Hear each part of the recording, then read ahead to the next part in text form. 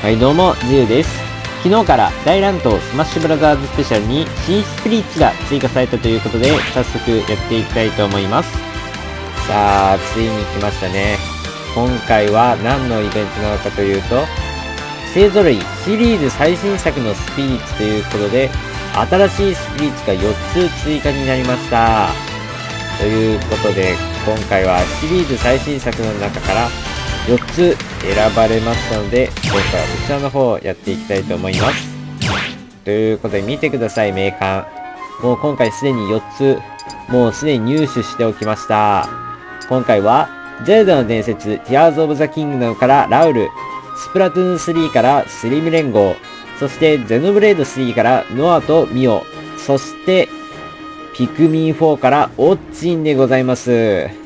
ここら辺結構知っている人多いんじゃないでしょうか。まあ、ラウールは正直知らない人は、まあ、言ってもおかしくない状況だと思いますが、で、今回、とりあえずやってみた感想なんですけども、正直に言います。めちゃくちゃ強いです。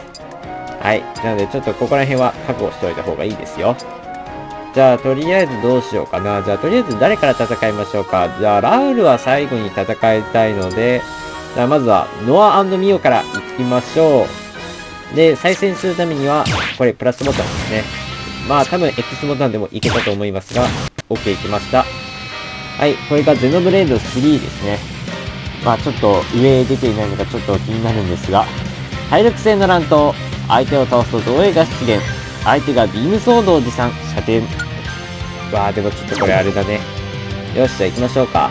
で、使用するファイターなんですが、まあ、今回はみんなが使いやすそうなマリオでいきたいと思います。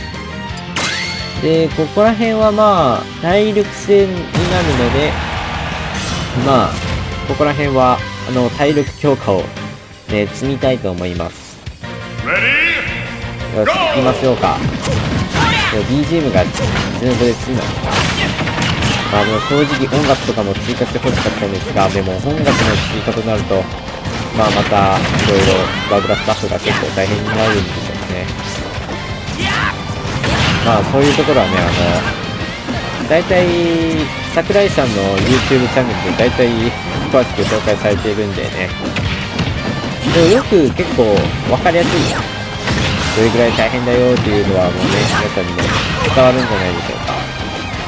OK。そして、シルクとミーを倒していきたいけど、このミーが、あの、女かな？女のちょっとあれなんでしょうか？待って、なんで微妙に0.1だけ残った ?OK。で、ダークサムス。なんでダークサムス？ダークサムスは何の役？で、巨大、巨大化していて、かつ、ビームソードもあるのもちょっと気になりますね。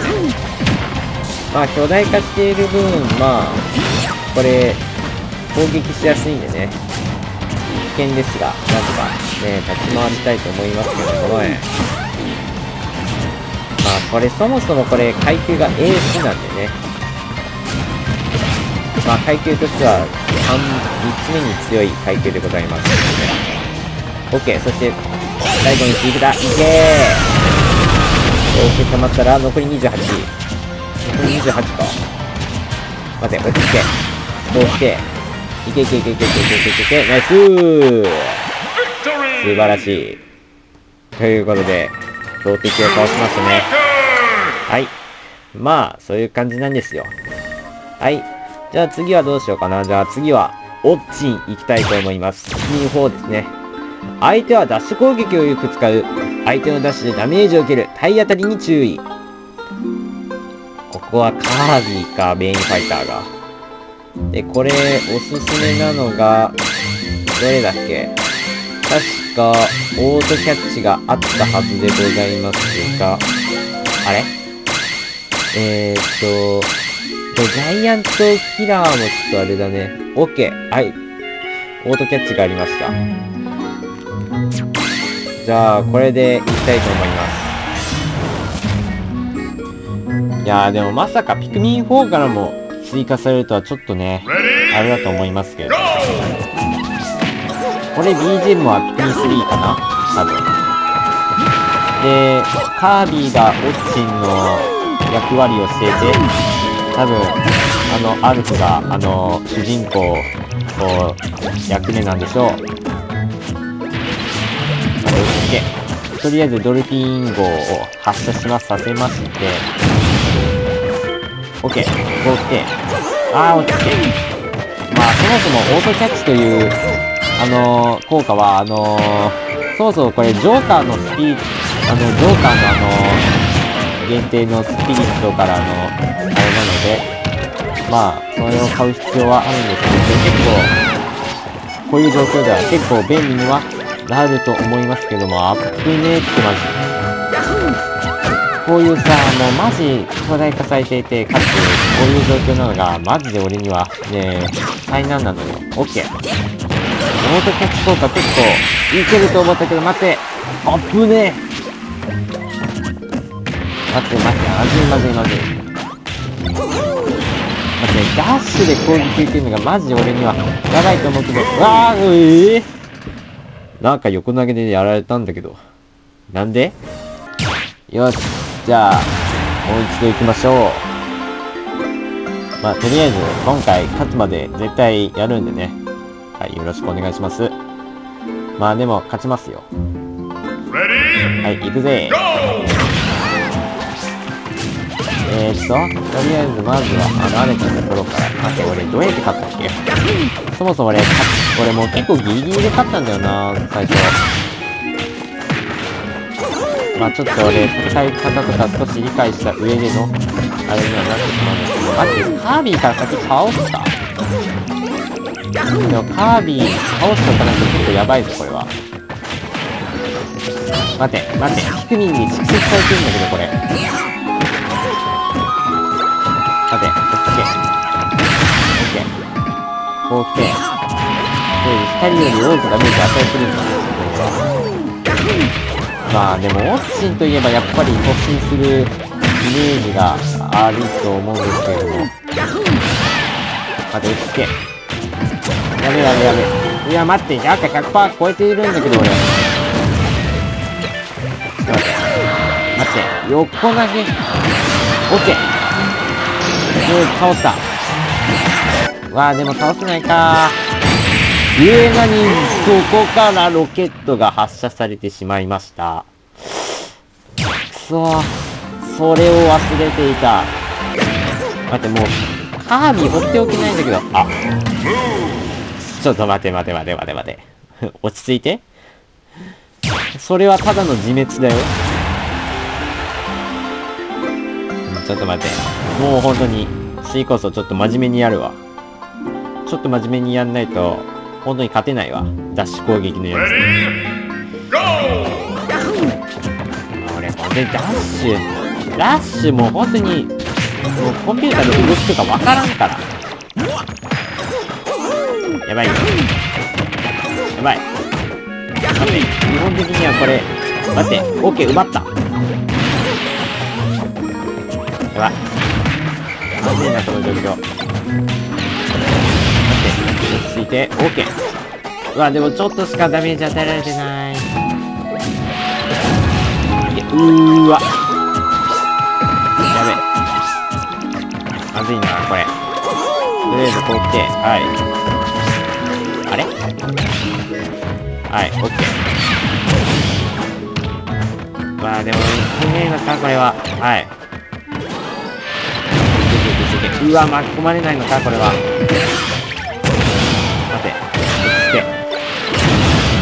オッケーうわ待ってなんか俺も変なのに巻き込まれたの。待て落ち着け。はい。こう来て。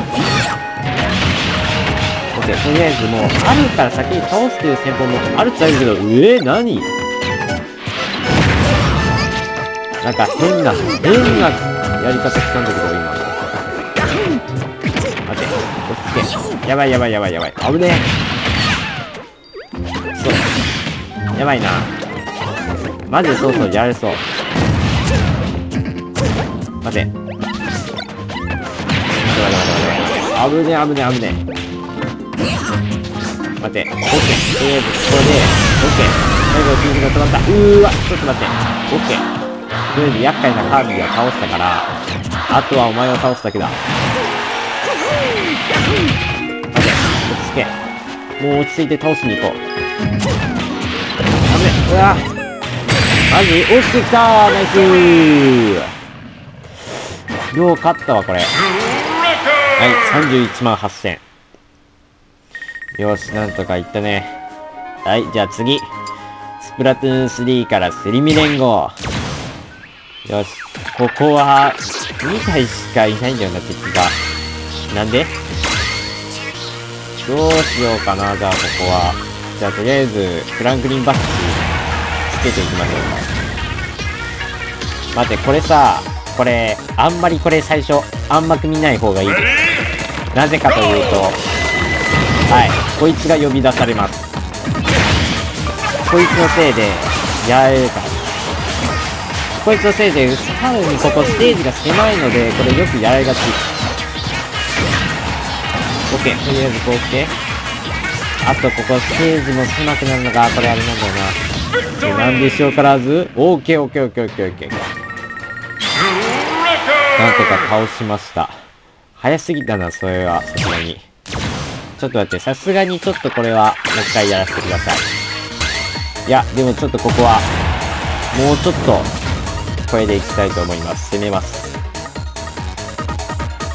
で、これ、多分、黄色が、この役割をしていると思うんですが、これね、失敗例。これ失敗例、これ、あれだよ、これ。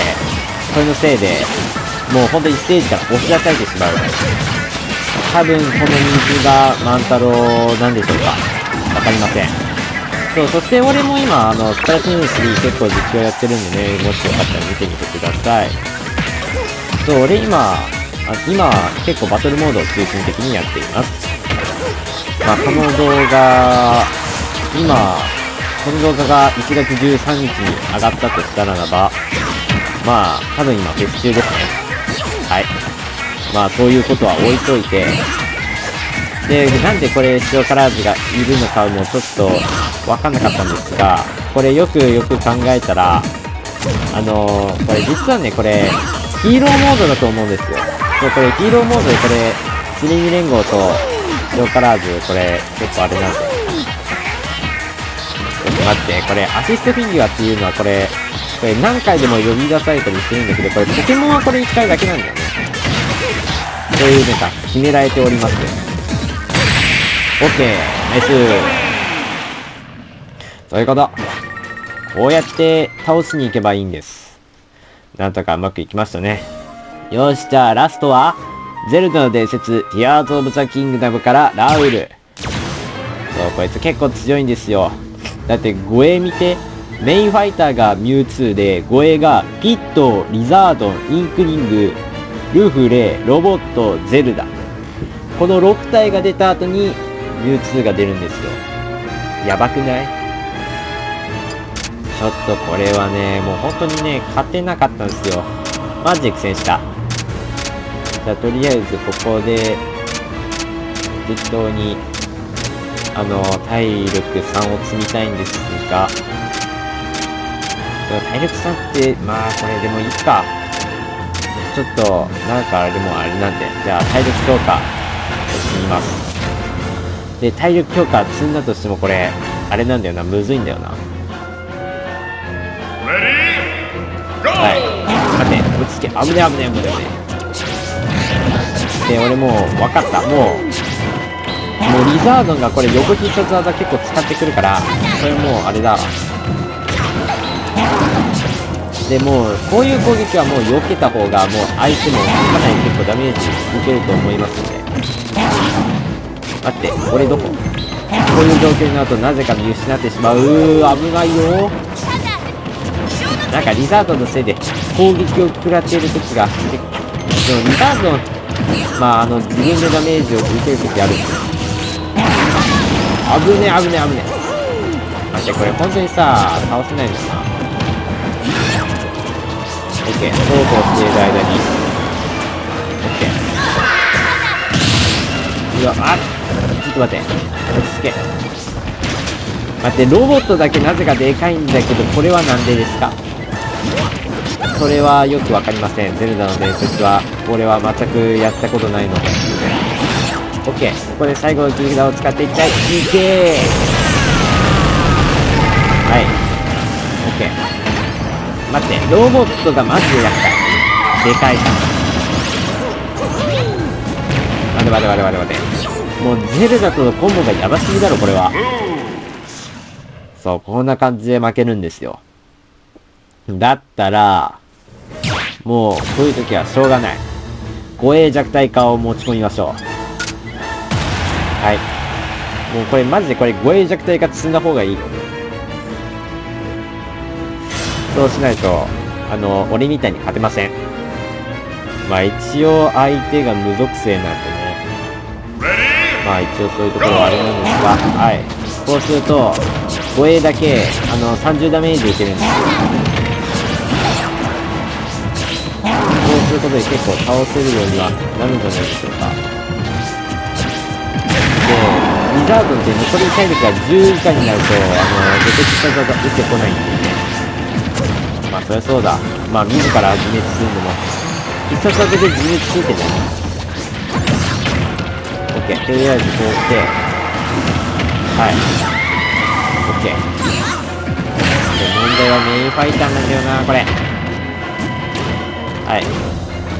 もうこういうロボットのせいでなんかやられることあるんだな。オッケー。あ、いった。ミュウツー。ミュウツーの体力は100。ミュウツーの体力マジ、これね、強いから。マジで、心してかかった方がいい。けけけけけけけ。まずいな、この状況。オッケー、残りあと38。まあ、メインファイターはこれ、この効果あの護衛にしか効果がないのでこれメインファイトには効果ない。んです OK とりあえず最後の切り替えしたんでじゃあここで使っていけいけ。あ残り10だ。残り10だぞ。いけ。あ残り1だ。よしよしよしよしよしじゃあ最後は下見で倒したい。下見で倒したいな。OK ナイス。よーし。はいということで、レジェンドに立ちました。これマジレジェンド強いからね。はい。ということで、今回は新しく追加された4種のスピリッツと戦ってみましたが、いかがだったでしょうか？意外と強かったね。まあ、ちょっと、俺が一番最初手ごずってのはスリビ連合だったんですけども、まあ、ラウールもね、結構強かったけど、まあ、護衛弱体化積めば、これ絶対勝てるので、はい。という感じでしょうか？ということで、こういう追加があと3回あるんですよ。まあ元はといえばスマブラスペシャル発売5周年というだけあって、そういう記念でもありますから。はい、そういった感じです。まあ俺今、スピリッツは全部コンプリートしていますので、まあ、また何か来てもおかしくない状況でございます。まあ俺はやっぱりマリオワンダー来てほしいね。マリオワンダーでゾウマリオは来るんでしょうかまあそこら辺の情報も楽しみにしつつ、また新しいスピーチが来るのを待ちましょう。じゃあ、また次回、まあ次はいつ頃来るかなまた楽しみにしておきたいと思います。ということで、チャンネル登録、高評価、サブチャン、ツイッター、TikTok のフォローもお願いします。それでは、さよなら。